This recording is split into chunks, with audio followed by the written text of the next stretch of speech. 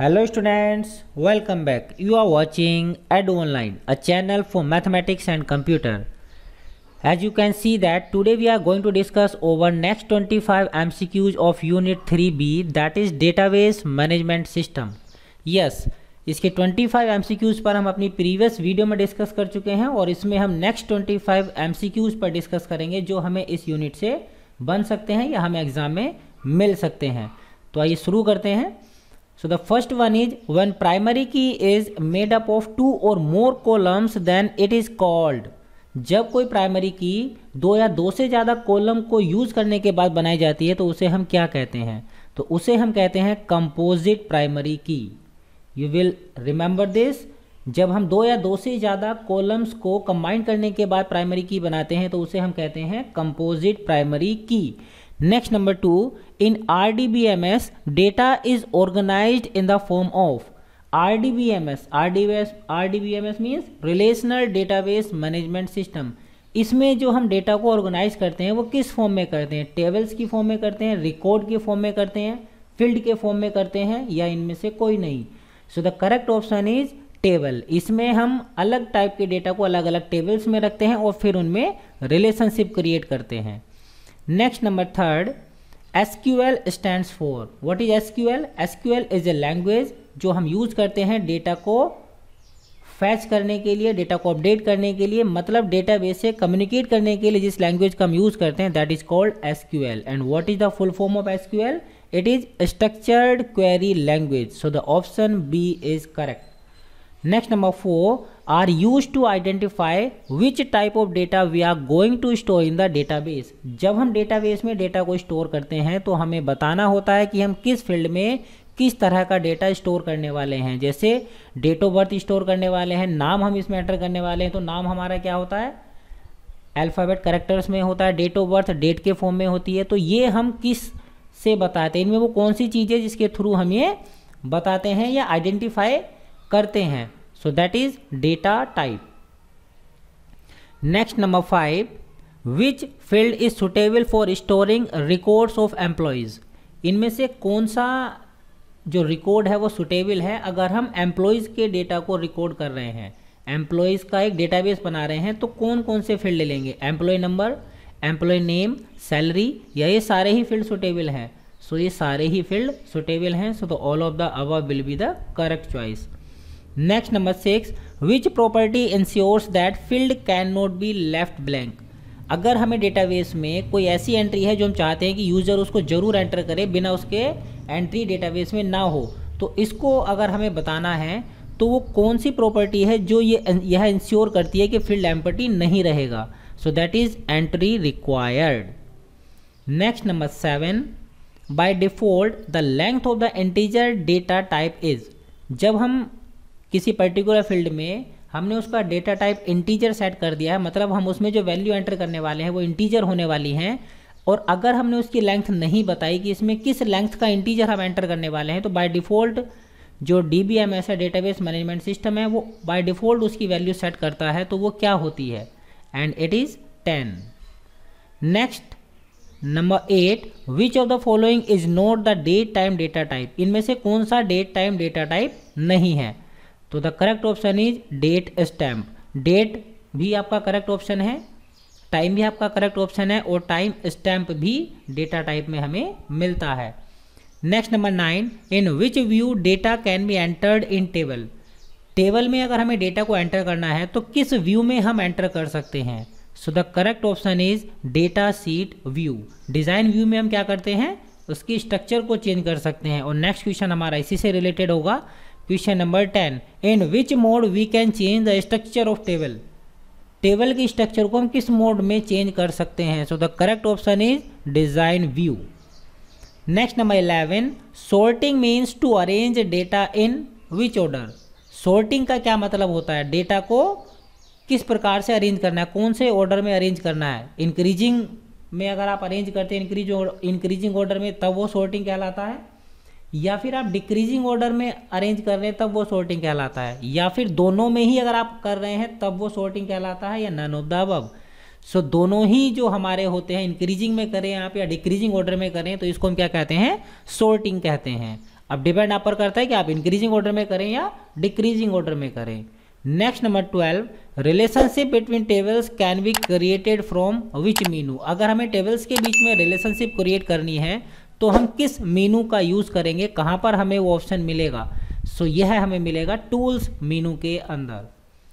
Next number thirteen there are types of relationship which can be created between tables कितनी प्रकार के relationship हैं जो हम टेबल्स के बीच में क्रिएट कर सकते हैं? As we have discussed in our previous question पहले हमारा क्वेश्चन आया था कि हम आरडीबीएमएस में जो डेटा को कैसे ऑर्गेनाइज करते हैं टेबल्स में करते हैं, तब हमने कहा था कि टेबल्स में रिलेशनशिप हम बाद में क्रिएट करते हैं। तो उसी से रिलेटेड रिलेटेड ये आपका यहाँ पर प्रॉब्लम है।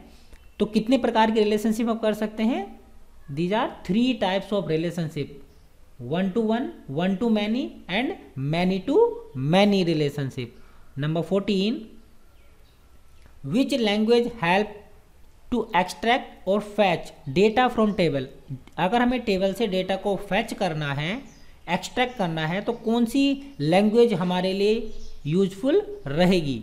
So my S Q L next statement is use to retrieve data from table table से अगर हमें डेटा को रिट्रीव करना है तो कौन सा स्टेटमेंट हम यूज़ करेंगे? So we use select statement next number fifteen sorry sixteen which of the following clause return specific rows अब डेटाबेस में बहुत सारे रिकॉर्ड होते हैं, उसमें से कुछ स्पेसिफिक आपको डेटा चाहिए तो कौन सी क्लोज आपके लिए यूजफुल रहेगी? सो दैट इज़ वेयर जहाँ पर ऐसा हो, वहाँ से यह रिकॉर्ड लेकर आ जाओ। जैसे अगर हमें ये लगाना है कि जिसकी डेट ऑफ़ बर्थ है, वो इतने से कम हो वही हमें डेटा चाहिए तो उस कंडीशन में हमें वेयर क्लोज का इस्तेमाल करना होता है। Next number seventeen which of the following clause return record in ascending order इनमें से कौन सी क्लोज ऐसी है जो हमें डेटा को क्या कर सकती है? रिटर्न कर सकती है असेंडिंग ऑर्डर में। मतलब हमें डेटा असेंडिंग ऑर्डर में चाहिए तो कौन सी क्लोज का हम यूज़ करेंगे? So that is order by और ऑर्डर वाई के बाद हम बताएँगे कि असेंडिंग में करना है या डिसेंडिंग में करना है। और बाय डिफ़ॉल्ट भी ये लेकर आता है। आई थिंक उसी से रिलेटेड प्रॉब्लम होगी। नेक्स्ट हमें मिलेगी, नहीं तो हम लास्ट में डिस्कस करेंगे इस पर। Which command is use to create table कौन सी कमांड यूज़ होती है टेबल को क्रिएट करने के लिए? सो so ऑब्वियसली ये नाम से ही हमें लग रहा है create and this is the correct answer number nineteen shortcut to execute query in create query in SQL view SQL view में जब आप कोई क्वेरी क्रिएट करते हैं तो उसको एग्जीक्यूट करने के लिए कौन सी शॉर्टकट की आप यूज़ करेंगे? So the correct option is F five की next number twenty command to display all the data in the table users is users के नाम से आपने कोई टेबल बनाई हुई है, उसमें से आपको सारा डेटा मीन जितने भी रिकॉर्ड हैं, वो सब यहाँ फैच करना चाहते हैं।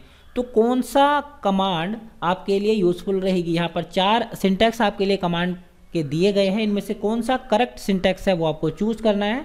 So the correct syntax is B select then star from and then users name of the table ये सेलेक्ट आपका स्टेटमेंट हो गया। हमने प्रीवियस प्रॉब्लम में डिस्कस किया था कि अगर हमें फैच करना है डेटा तो कौन सा स्टेटमेंट हम यूज़ करते हैं सेलेक्ट करते हैं। और स्टार मीन्स सब कुछ हमें सेलेक्ट करना है। फ्रॉम का मतलब कौन सी टेबल से हम करने वाले हैं। ये उसको आइडेंटिफाई कर रहा है from and users then table का नेम कोई भी आपको यहाँ पर टेबल का नेम मिल सकता है। यूज़र्स हो सकता है एम्प्लॉयज़ हो सकता है, या फिर गिफ्ट्स हो सकते हैं रिवार्ड्स हो सकते हैं। तो कुल मिलाकर आपको क्या करना है? सेलेक्ट स्टार फ्रोम ये तो आपका सेम रहेगा और यहाँ पर आपका क्या होगा? टेबल का नेम होगा। Next number twenty one which command is use to modify data in table यदि आपको टेबल में डेटा को मॉडिफाई करना है तो कौन सी कमांड आपके लिए यूजफुल रहेगी? So it is update command next number twenty two which command is use to delete data from table table से अगर हमें डेटा को डिलीट करना है तो कौन सी कमांड हमारे लिए यूजफुल रहेगी? ऑब्वियसली ये भी आपको नाम से ही दिखाई दे रहा है डिलीट बट यहाँ पर रिमूव भी है। तो यहाँ पर कन्फ्यूज़ नहीं होना है, कौन सा हमें यूज़ करना है? Delete next by default data is arranged in order using order by clause देखिए, मैंने कहा था आपको इससे रिलेटेड एक हमें पीछे प्रॉब्लम आई थी। तब मैंने आपको कहा था कि ऐसा शायद एक एमसीक्यू हमें आगे मिलेगा तो ये वही है। अगर आपने ऑर्डर बाई क्लोज यूज़ की है डेटा को अरेंज करने के लिए, और उसमें आपने आइडेंटिफाई नहीं किया है कि आप असेंडिंग में लेना चाहते हैं या डिसेंडिंग में तो बाय डिफ़ॉल्ट कौन से ऑर्डर में वो आपको डेटा लेकर आएगा? तो वो कौन से ऑर्डर में लेकर आता है? असेंडिंग ऑर्डर में लेकर आता है। अगर आपको डिसेंडिंग में चाहिए, तब आप उसको बता दीजिए डिसेंडिंग अदरवाइज़ वो आपके लिए किस ऑर्डर में लेकर आएगा? असेंडिंग ऑर्डर में लेकर आएगा। Next number twenty four provides a systematic way of storing information into the database database में जब हम इंफॉर्मेशन को स्टोर करते हैं तो स्टोर करने के लिए इन्फॉर्मेशन को एक सिस्टमेटिक वे हमें प्रोवाइड करवाता है। वो कौन सी चीज़ है? रिपोर्ट है क्वेरी है फॉर्म है, या नन ऑफ़ द अब सो यह भी हमें क्लियरली यहाँ से आइडेंटिफाई हो जाना चाहिए। फॉर्म में ही हम डेटा को एंटर करते हैं। So the correct option is form next helps to display the data in a summarized data इनमें से कौन सा ऐसा है जो हमें जो हम डेटा अलग अलग डिफरेंट सोर्सेज से स्टोर करते हैं डेटाबेस में अलग अलग तरह का डेटा होता है तो उसे समराइज्ड वे में अगर हमें देखना है तो वो कौन सी चीज़ है जो हमें मदद करती है ऐसा करने में। सो so, नाम से ही हमें दिखाई दे रहा है that is report so these were the twenty five M C Qs which can be taken place from D B M S database management system unit three B से हमें मिल सकते हैं इससे बनाए जा सकते हैं। कुछ और एम हैं जिस पर हम डिस्कस करेंगे अपनी नेक्स्ट वीडियो में।